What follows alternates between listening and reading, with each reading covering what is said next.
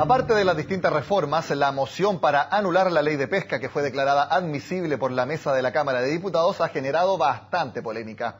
Mientras el gobierno y los empresarios señalan que es una iniciativa derechamente fuera de la Constitución, expertos en el área tienen distintas visiones al igual que en el Congreso.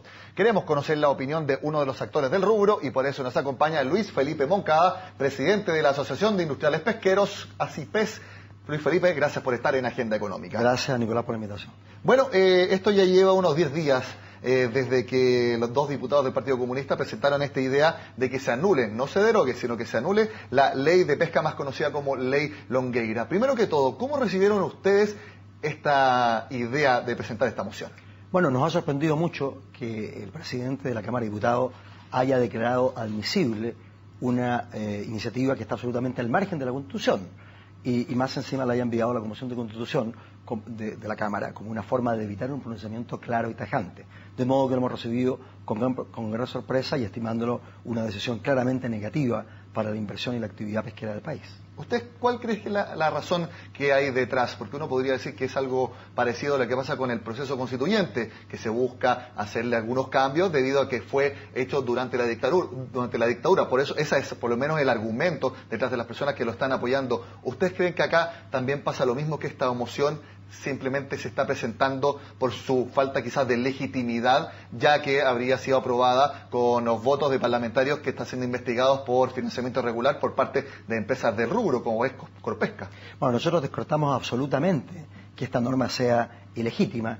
Eh, esta es una norma que fue aprobada eh, luego de una discusión muy extensa durante el año 2012 eh, se presentaron 161 organizaciones en la discusión larga de la Cámara de Diputados que se hizo entre enero y agosto, expertos en administración pesquera, científicos, representantes de la industria, representantes del sector artesanal, del sector laboral, ONG, etcétera. Fue una, una ley en la cual se entregó un cúmulo de información, después de la cual el Congreso, con toda esa información, aprobó esta ley, que es una ley muy favorable para la recuperación y la conservación de los recursos pesqueros. Pero si se comprueba que hay financiamiento irregular para los parlamentarios investigados, absolutamente, entonces no, pierde nada de legitimidad la ley, no pierde, Longueira. No pierde legitimidad porque en el caso puntual de que hubiera, y, parece haberlo, hay un senador desaforado y hay una ex diputada investigada, eh, eh, algún, algún eh, derechamente delito de cohecho, ese es un tema que tiene que ser sancionado y para eso existe la legislación en materia penal, en materia justamente del, Congreso y está el desafuero, etcétera pero eso no quita legitimidad a una norma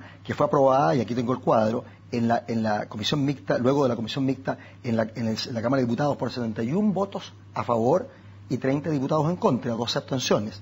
Y en el Senado por 23 diputados a favor, 7 en contra y 4 abstenciones. Es decir, la legitimidad democrática de, este, de esta ley, que es una ley muy buena, dicho sea de paso, y una ley que entregó importantes beneficios al sector artesanal, industrial y estabilidad a los trabajadores, no puede en absoluto quedar en entredicho por dos casos puntuales. Otro argumento quizás puede ser que los parlamentarios están buscando una razón distinta y quizás lo, están haciendo porque ellos creen que la ley es mala. Entonces están buscando una razón de otra área para tratar de sacar esta ley.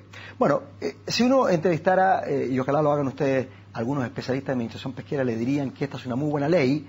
Eh, voy a responder a continuación lo siguiente, pero desde el punto de vista de la bondad de la ley, esta es una ley que saca a la administración pesquera de la autoridad, por primera vez en la historia de Chile la entrega a los comités científicos técnicos que entregan una opinión respecto de las cuotas.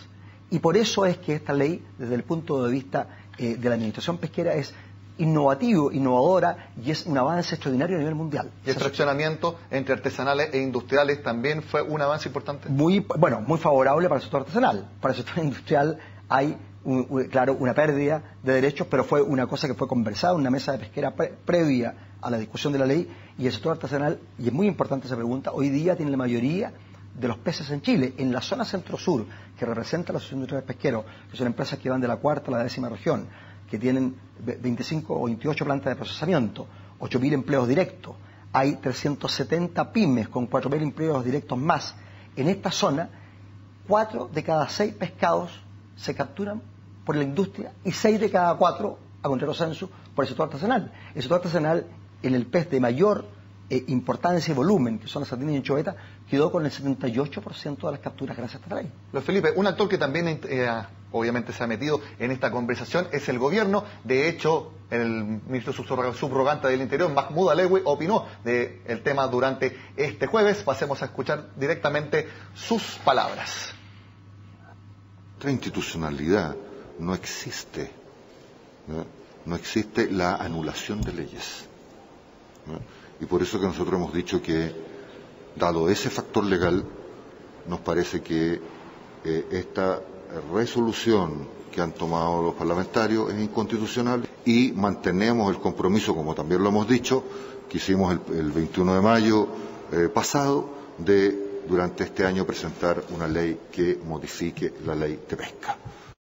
Luis Felipe, como vimos, eh, esta, moción para posiblemente anular la ley de pesca consiguió lo que ninguna reforma ni nada ha conseguido durante el gobierno de Michelle Bachelet, que el gobierno y los empresarios, como ustedes, como también la SOFOFA y la CFC, estén en la misma línea, es decir, que esta sería una iniciativa fuera de la Constitución. Ahora, ¿qué le parece las palabras de Mahmoud Alewi de que se confirma de que van a presentar nuevas iniciativas para modificar la ley de pesca tal como lo anunció Michelle Bachelet en el discurso del 21 de mayo del año pasado? Concordando completamente en el tema constitucional con el ministro Lewy, yo tengo una pequeña diferencia. Si el ministro leyera con cuidado las palabras de la presidenta que están en línea con eh, el eh, eh, proyecto de gobierno de ella, lo que ella señaló es que se iba a revisar la ley de pesca. Y en eso eh, el gobierno tomó una iniciativa que nosotros estimamos muy eh, eh, correcta, que es entregar a un juicio experto en el análisis de, esta ley vigente. Y por lo tanto pidió a la FAO, un organismo serio a nivel mundial,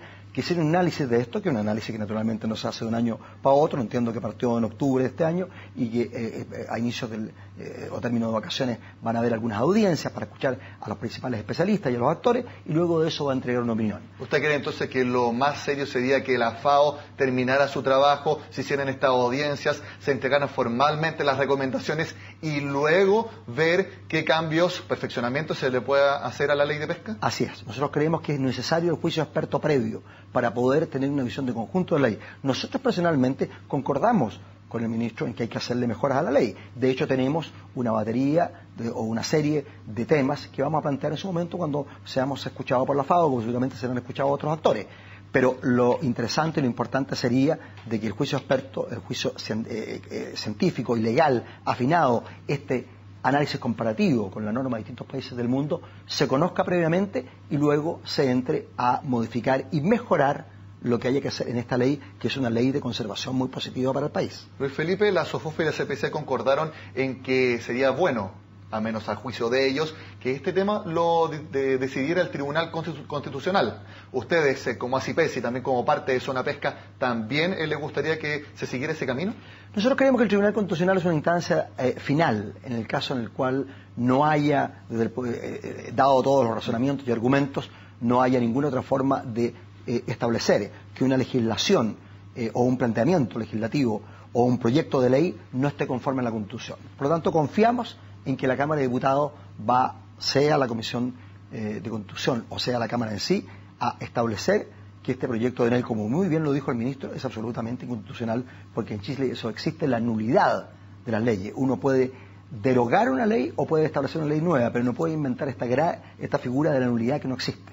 En ese sentido, nosotros confiamos en que va a primar una actitud razonable y por lo tanto se va a declarar la constitucionalidad y se tendrá que ver las mejoras a la ley que, haya que establecer a, través de alguna de las formas o mecanismos que se establezcan en el tiempo que viene. Luis Felipe, mi última pregunta porque nos queda poco tiempo. En el caso hipotético de que se anulara la ley de pesca, ¿qué sucedería? Se ha hablado mucho de que se volvería a la famosa carrera olímpica, donde está bien, se fijan cuotas pero ahí cualquiera agarre la lancha más grande, el barco más grande y pesque todo lo que, lo que quisiera. ¿Eso es lo que sucedería a su juicio? Sucedería. La Ley General de Pesca y Agricultura es del 7 de septiembre del 91 y esa ley establece un sistema, no voy a entrar en tecnicismo, que se llama el control del esfuerzo y básicamente lo que fija son cuotas globales anuales por pesquería, que incluso se pueden parcelar eh, trimestralmente o mensualmente. Y contra esas cuotas van a operar, actuar, o sobre esas cuotas van a actuar artesanales y industriales que dicho sea de paso, con la capacidad de pesca que hoy día tienen en conjunto, son capaces en aquellas especies más delicadas, en los 18 meses que va a demorar a lo menos en discutir una ley, simplemente en acabar con ellas, de modo de que este salto al vacío que se está haciendo es de una gran responsabilidad. Bueno, vamos a ver entonces cómo se desarrolla este tema en las siguientes semanas, porque seguramente va a dar para largo. Luis Felipe Moncada, presidente de ACIPES, gracias por estar en Agenda Económica. Gracias, Nicolás. Bueno, y con este análisis sobre la moción para anular la ley de pesca, terminamos la agenda económica de este jueves. Como siempre, los invito a que sigan con nosotros acá en CNN Chile.